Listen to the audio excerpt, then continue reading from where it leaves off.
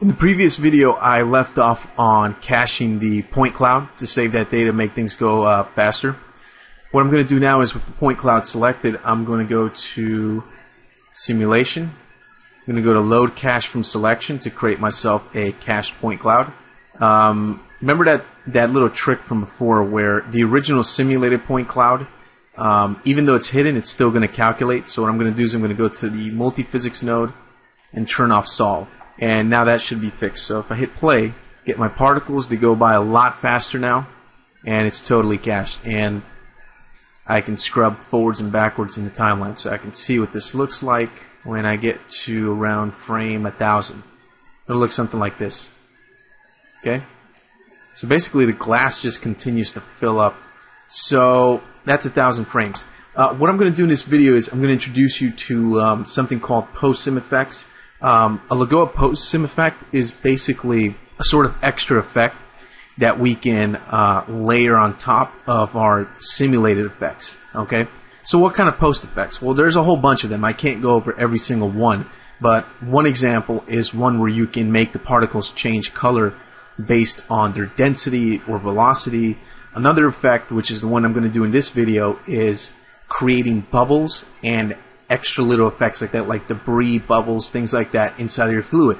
And this works really good if you're doing some kind of simulation of a fluid that has a lot of bubbles. For example, uh, soda, like if you're doing a Coke commercial or some kind of soda or something like that, or any fluid that needs bubbles. Um, before I can get to that point, I first need to create a fluid mesh for this. So I'm going to take the simulated point cloud that I've just created, and with it selected, I'm going to go to the create menu. I'm going to go to surface from point cloud, create my polygonized mesh like we've done before uh, a couple of times. And um, this polygonizer, let me change the name so it makes a lot more sense. I'm going to call this wine polygonizer. Just makes a little bit more sense. I'm going to turn off all of these blur parameters over here because what I'm going to be doing is using the uh, fluid shaper to get the uh, shape of this mesh going. So I hit play. There's my mesh what I'll do is I'm going to increase the detail level a bit, get it into the 3.5 range, something like that. Take the ISO level and I'm going to leave the ISO level alone for now. I'll change it after I add the fluid shaper. So with the wine polygonizer selected, let's go to the deform menu and let's go to the create Lagoa fluid shaper. Now you can adjust these settings however you want. I think I'm going to stick with the defaults. The defaults for the fluid shaper actually uh, work out pretty good. So there's the fluid, it drops into my glass, simulates very, very nicely. Even though things are going a little bit slow right now, but it's obvious why that is. If I render this out, see what I have. Looks pretty cool. Um, one thing that I need to do is I need to take the point cloud, which is the cached point cloud, and I'm going to hit F3 then go to the visibility settings and turn off render visibility. I don't want those little uh, spheres rendering out. So this is what we should end up with. Okay. Next thing I'm going to do is um, I've actually created a very nice wine material we can use. So if I hit Control 7 to open up the material manager, you can see I have a wine material already set up for us ready to go. So I'll select the polygonizer mesh, right click on the wine material and hit assign to selection. And now our wine material is going to have this really nice red sort of wine material to it. You can see that. It's a Mentor architectural material which makes it look very uh, realistic. It looks like a very nice natural looking fluid. Um, so I've got that part done. Let me see what is next. Mm, what we need to do next to get this uh, post-sim effect work. There's a couple of ways we can go about it. Uh, the way I'm going to go about it is by creating basically three point clouds. Okay. Now at this point, the process to get the post-sim effect to work for the bubbles is going to get a little bit complex. Okay. So just bear with me. I'm not going to go too fast at this point because there's a lot of nodes that need to be connected here and a lot of stuff needs to happen for this to work. Okay. So um, basically, the way this works is we created our first point cloud, which was the simulated one. Then we cached it, and we created a duplicate point cloud that reads the cache data. That's the cached point cloud we have now. That second point cloud is the one that drives the polygonized mesh. Okay, the wine mesh, which is this one, the wine polygonizer. Okay, what we need to do is create another point uh, cached point cloud, and that one is going to drive the bubbles in the fluid. Okay, so to do that is actually pretty easy. I've already cached this original point cloud, so what I'll do is I'll select the original point cloud.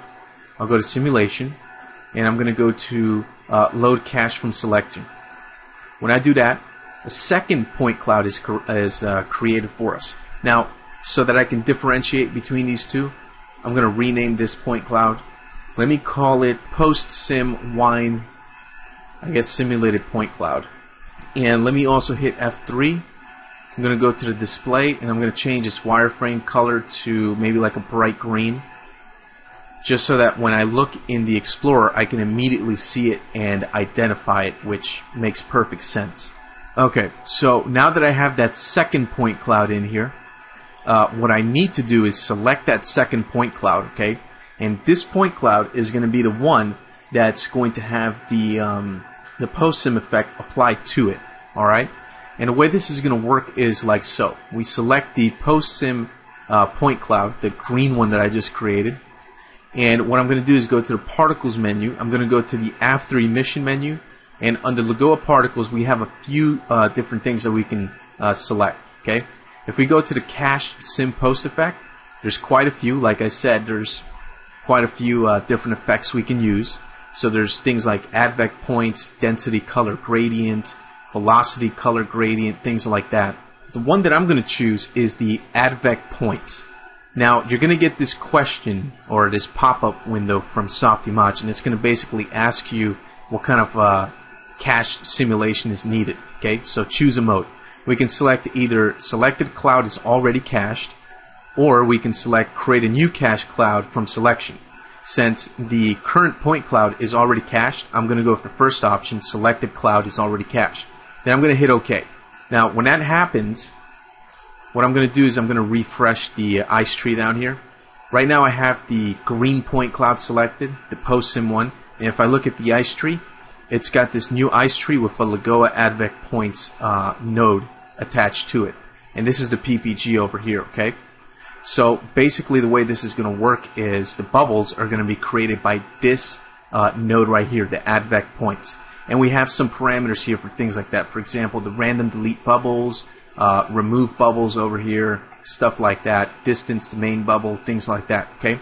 But um, this isn't finished yet. We don't have it working uh, quite yet. The next thing that we need to do is we need to actually connect the polygonized mesh to this ice tree. Alright, so the way to do that is very easy. Just go into Explorer, drag and drop the wine polygonizer mesh into the ice tree, take the value, plug that into po the polygonized mesh uh, input port of the Advect points node. And that's pretty much it. Now, one other important thing that we're going to do is we're going to come into the Advect points uh, PPG, and what we're going to do is we're going to turn on this option here that says remove outside polygonizer. And right now we really can't see the bubbles. That's because they're very, very tiny. So let me take this option off. Let me go back to the first frame. And just so we can see this a little bit better, I'm going to take the polygonizer and I'm going to mute it so we don't see it right now. And when I hit play, you're going to see all the particles and stuff coming down. Uh, we really can't see the bubbles right now. Turn off the remove outside polygonizer uh, option over here. I'm going to show you something. For the moment, let me do this. Let me take the, the blue point cloud, the first cached one. I'm going to hit H to hide it. And now you should be able to see these bubbles. They're very, very tiny right now. Very hard to see. By default, they're very, very small. But you can see them if I'm going to increase their size. So let me take the size base value and increase it. Those are the bubbles right there. They're very big right now. It looks like the first point cloud, but it's actually not. These are the bubbles that are actually created uh, for the uh, point cloud. Okay. By default, like I said, they're very, very small. Usually you want to keep them small, but you have the ability to come in here and change their size and stuff. So that's actually what I'm going to do. So let me turn on the remove outside polygonizer option and let me also turn up the base value here So what I'm going to do is I'm going to go for value of uh, 0.001, which will make them a little bit bigger. If I turn this option off, you can see, well, there's not really that much bigger. Uh, actually, what I wanted to do was 0.01. There we go. Now you can see them a little bit better. They're uh, slightly uh, bigger. And for the size variance, let me go something like 0.025. There we go. Now we can see them uh, a lot better. Okay, that uh, that looks pretty good. So let me turn on the remove outside polygonizer option. Let me unmute the polygonized mesh. I'm going to hit play. There's my mesh. Let me go to wireframe mode. When I go to wireframe mode, I can clearly see the bubbles inside the mesh.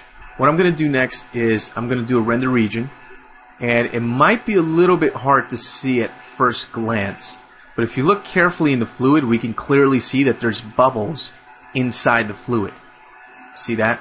If I make the bubbles really, really big, obviously you'll be able to see them a lot better. So I'm going to exaggerate them just so that you can actually see them in the fluid. And there they are. There's the bubbles. Okay. Now they don't look much like bubbles right now. Obviously, uh, there's a couple of things we need to do. First of all, don't make them so big. Okay. Down here in the shape, we can change the shape of the bubbles. By default, they're set to blob shape, which is why they look the way they did when I just rendered a moment ago. Uh, you can set them to little uh, spheres.